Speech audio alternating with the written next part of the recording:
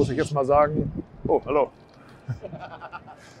äh, offensichtlich können die iranischen Fans noch äh, lachen.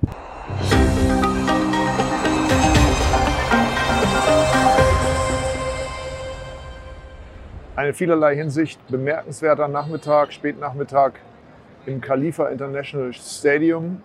England gegen den Iran. Sehr deutliches Ergebnis, muss man sagen. Ihr seht, ich habe einen Pullover an, obwohl es eigentlich hier draußen relativ warm ist. Also hier habe ich es wirklich gemerkt.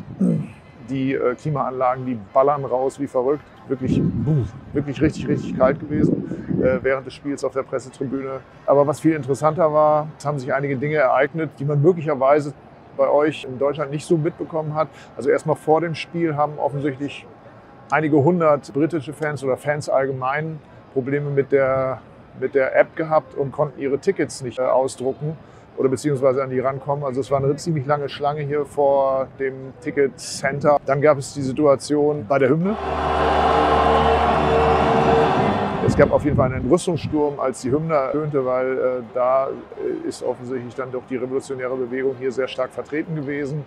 Während die englische Mannschaft auf dem Rasen einen Kniefall machte, konnte man im iranischen Block eine riesige Fahne und auf der stand Freedom for Iran das ist auch insofern interessant, nicht nur, dass da natürlich interessante politische Meinungen natürlich hier dann eben auch im Stadion sichtbar geworden ist, sondern dass die iranischen Fans es auch geschafft haben, diese Fahne ins Stadion zu transportieren. Es gibt hier äh, um die Ecke eine Station, die heißt Posters and Flags Evaluation Area.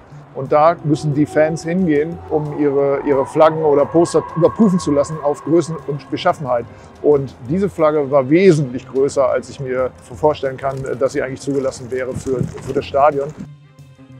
Heute Nachmittag hat dann eben die FIFA verkündet, dass diese äh, One Love Binde nicht getragen wird. Es gab dann eben eine andere Binde mit No Discrimination, die man wohl erst in der Zwischenrunde hätte sonst tragen sollen. Ich glaube, wir haben hier erlebt, dass, es, dass wir uns bei der dann politischsten Weltmeisterschaft aller Zeiten befinden und dass die Mannschaften es und die Fans vor allen Dingen natürlich schaffen, hier auch entsprechend Flagge zu zeigen, im wahrsten Sinne des Wortes.